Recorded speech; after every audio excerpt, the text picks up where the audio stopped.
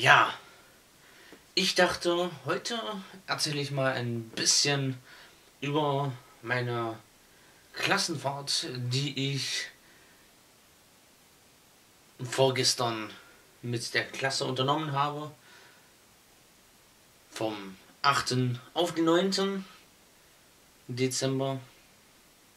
Ja, wir waren in Weimar eine Stadt, die mich zutiefst beeindruckt und auch irgendwie mitgerissen hat. Ja. Ein kleines Pläuschchen vielleicht beim Kaffee. Es ist nachmittags gerade, wenn ich das Video hier drehe. Ich lasse mir gerade meinen Kaffee schmecken und ja freue mich, dass ihr da seid und mir zugucken wollt, zuhören wollt, wenn ich über Weimar erzähle. Los geht's nach dem Intro.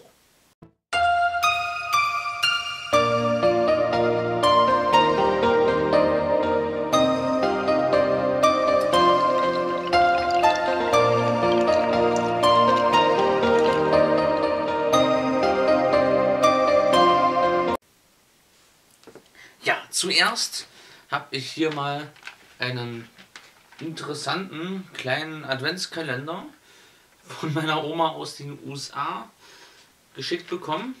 Ja. Hat es, glaube ich, ganz lieb gemeint. Meine Oma. Ja.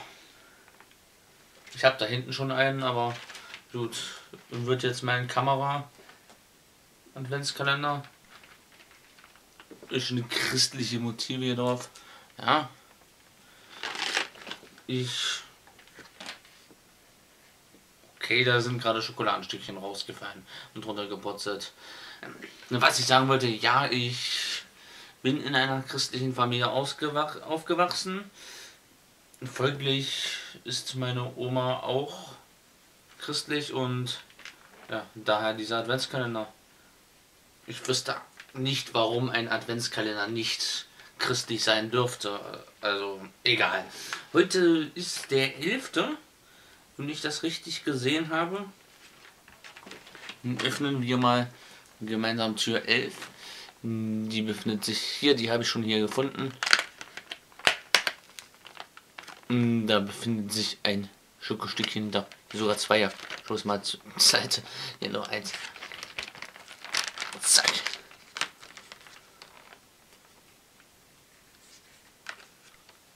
Was genau soll das darstellen? Äh, Schreibt es mal in die Kommentare. Wieder zumachen hier. Verdammt süß die amerikanische Schokolade. Weitaus süßer als die deutsche. Aber darum soll es heute nicht gehen. Auch um die Religiosität von mir und meiner Familie soll es heute nicht gehen. Heute soll es ja um Weimar gehen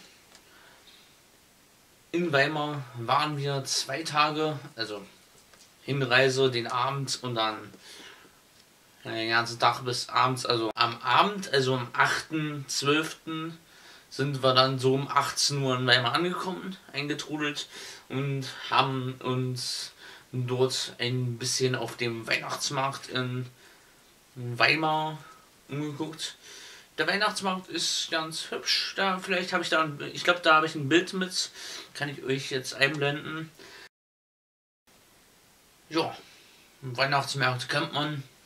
Ist nichts allzu phänomenales. Sind eigentlich von Stadt zu Stadt relativ ähnlich. Nicht gleich, aber ähnlich. Was aber anders war. Wir waren danach im Theater, im, im Weimarer Theater, ganz berühmtes Theater direkt neben dem Weihnachtsmarkt. Habe ich auch ein Foto von geschossen. Ist weniger das Theater zu sehen als ich. Das ist ein Selfie. ja. Ähm, hier mal ein kleines Bildchen. Ja. Aber was das Wesentliche war, war der nächste Tag. Am nächsten Tag sind wir morgens um 9 hochgefahren auf einem Berg, der da hieß, ähm, wie hieß denn der? Mal recherchieren, wie hieß der? Der Ettersberg. Für die Leute, die das, denen das was sagt. Ja. Für die Leute, die der Ettersberg nicht sagt, denen sagt vielleicht der Begriff Buchenwald was. Ja, das sollte man schon mal gehört haben. Das KZ Buchenwald, Konzentrationslager in Weimar. Hier habe ich eine schöne Sammlung an Postkarten mir als Souvenir mitgehen lassen. Mitgehen lassen klingt schlimm. Gekauft, mitgenommen. Ja. Nice Bilder. Kann ich ja das ein oder andere mal an die Kamera zeigen. Sind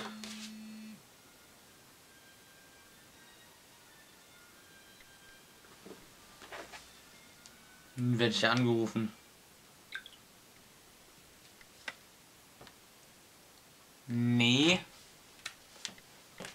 Nee, du, ich bin gerade bei der Aufnahme. Kannst du mal später anrufen. Ja, danke.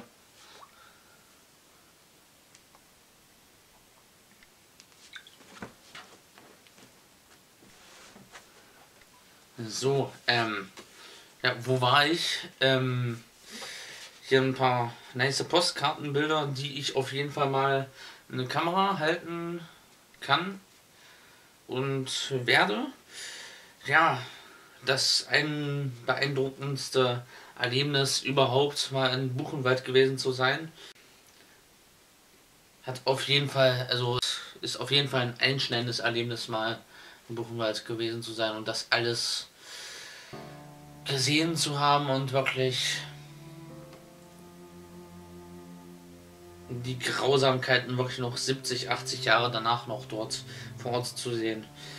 Ja, hier angefangen hat an den Gleisen. Ja, das Tor von wie heißt das? Buchenwald. Ja. Wieder so ein kann ich mal zeigen, auf dem nächsten Bild ist es drauf. Ja. Ein extremer Spruch, die immer über den KZ stehen. Jedem das seine.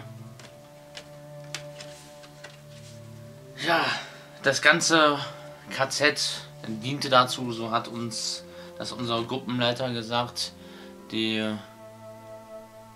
Häftlinge halt den Häftlingen halt ihren Standpunkt klar zu machen von, von der Sicht der Nazis aus halt schon bei der Inschrift des Tores, ich kann es nochmal zeigen, wenn ich es finde, ja, die Inschrift des Tores, jedem das seine, denen schon zu, äh, beim Ankommen zu sagen, ihr seid dort, wo ihr hingehört, das ist das, was ihr verdient. Oh, ja.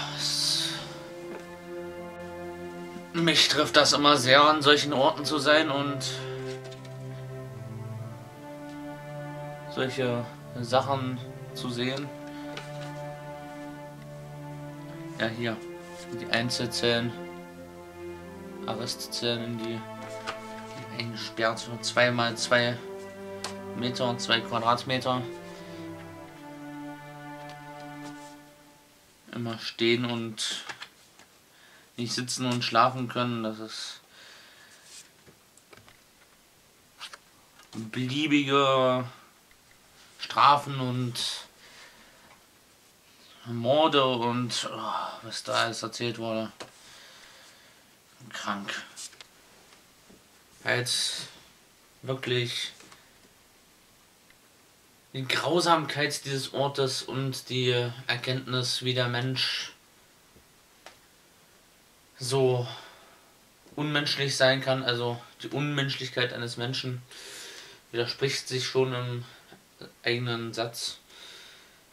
Ja. Unbedingt ein Ort, wo man auf jeden Fall hingehen sollte. Also man sollte den Kontakt mit diesem Lager nicht scheuen. Zweifellos ein schlimmes Erlebnis, das mit anzusehen, aber es gehört dazu. Es ist Geschichte. Ja, das war noch nicht alles, was wir in Weimar gemacht haben, um mal weiterzukommen. Nach dem KZ, also nach Buchenwald, sind wir dann nach wieder zurück nach Weimar in die Stadt gefahren und haben uns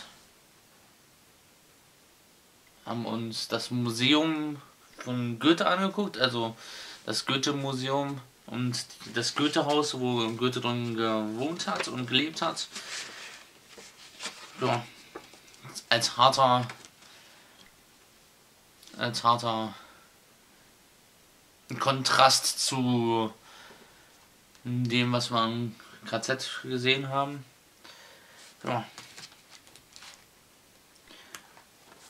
Da ich mir auch das hier gekauft. Ich zeig's mal gleich. Ich wollte nur mal. Ich zeig's mal gleich. Ich wollte nur kurz mal sagen, falls mein Onkel damals dran ist, mit zuguckt, soll der jetzt mal abschalten. Ja, ähm. Eventuell wird sein Weihnachtsgeschenk hier gleich mal durch die Kamera fliegen. Ähm, ich habe das besorgt, weil ich dachte, mein Onkel, den habt ihr schon gesehen am 6. Dezember in einem, darf ich ja spoilern, ist schon passiert, schon vergangen, ist kein Spoiler mehr. Den habt ihr am 6. Dezember in einem Vlog gesehen im Adventskalender und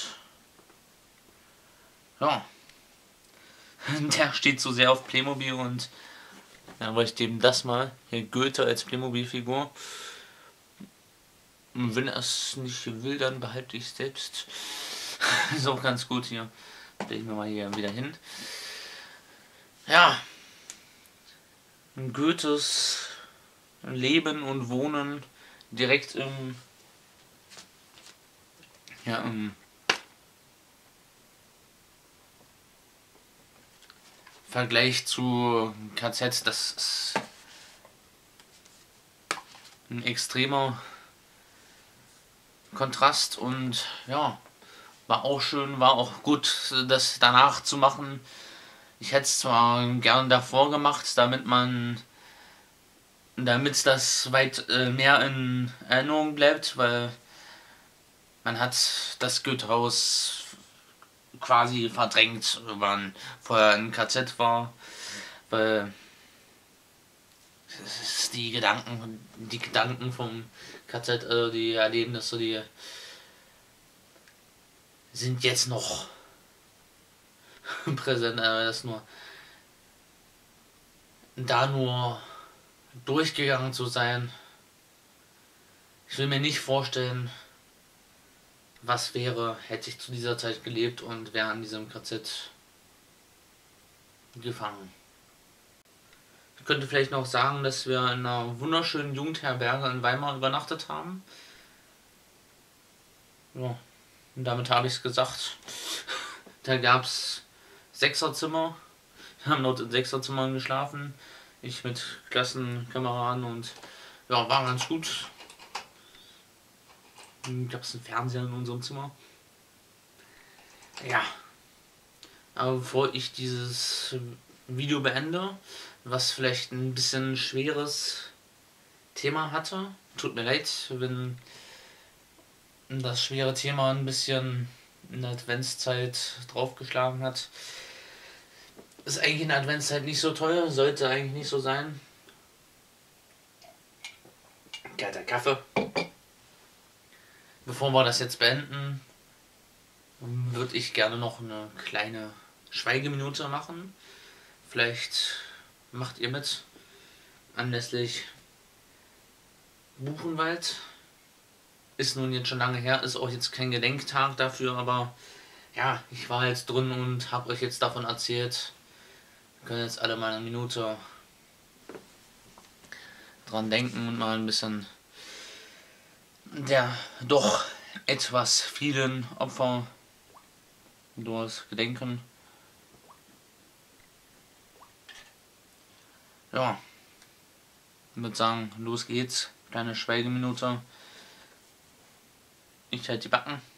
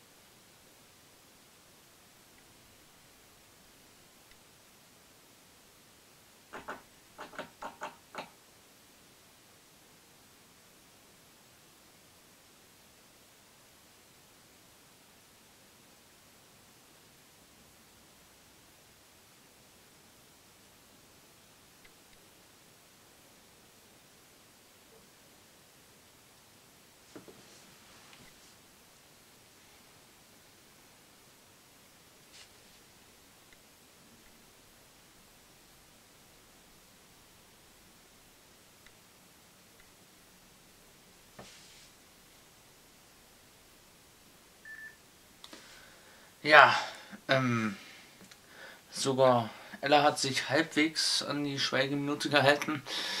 Ja, halbwegs. Ähm,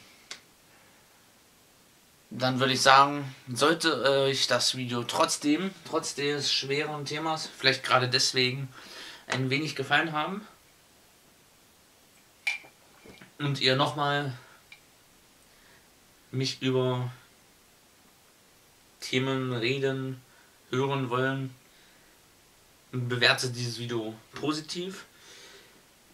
Schreibt eure Erfahrungen gerne mit Konzentrationslagern und ähnlichen Gedenkstätten in die Kommentare. Würde mich gerne, würde mich sehr freuen, würde ich gerne lesen. Schöne Kommentare über solche Sachen ja, wie immer bei solchen Themen, morgen wird es dann wieder etwas angenehmer. Solltet ihr trotzdem ein bisschen unterhalten worden sein von diesem Video, würde ich mich über eure Unterstützung freuen. Lasst ein Abo da, seid ihr äh, neu auf meiner Kanalseite und solltet ihr